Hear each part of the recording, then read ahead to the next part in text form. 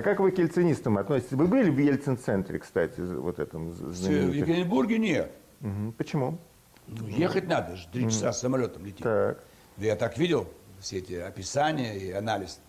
А с Ельцином я был против, противником. Дважды был его оппонентом на выборах Да. президента, 91-96 год. Самая жесткая критика. Меня он даже, по-моему, э, ненавидел больше, чем Зюганова. Зюганов, они же соседи. Вот сегодня на Тверской жили вместе в одном доме. Потом он на осеннюю улицу уехал. А так они этажом выше, ниже. Вот они.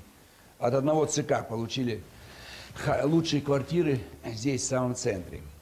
Поэтому у него это было, как говорится, все-таки какие-то солидарность. Он же буквально до 87 года стоял и член ЦК, и политбюро, по-моему, секретарь ЦК. ну, а меня он больше ненавидел, потому что я жестко критиковал его. Зюганов же в первых выборах не участвовал. А во-вторых, естественно, он был главный для него конкурент, и э, ему обеспечили победу э, над ним. Поэтому Ельцин и его правительство, конечно, совершили огромные такие преступления, хуже, чем Горбачев. Вот. И даже, может быть, хуже, чем э, Октябрьская революция и гражданская война. Потому что мы, э, и Гитлер, мы потеряли во время революции треть промышленности. И во время Великой Отечественной войны треть, при Ельцине половину. А вы знаете, Территории. Мы не потеряли территории практически, а при Ельцине потеряли люди.